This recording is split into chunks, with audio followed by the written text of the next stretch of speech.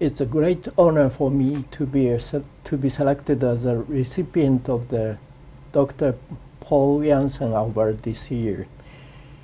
It is a sudden and unexpected matter for me because I'm just a basic cell, cell biologist. 27 years ago, I launched autophagy research, one of the major intracellular degradation systems, using yeast as a model. At that time, not so many people paid attention to autophagy.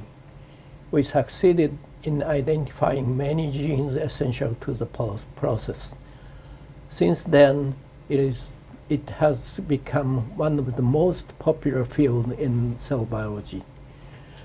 Autophagy is necessary for not only recycling of nutrients, but also elimination of harmful proteins, organelles, and even invasive bacteria.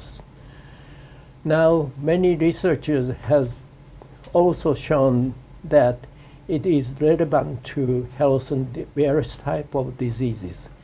However, autophagy research is still at the early days, and many problems remain to be unveiled.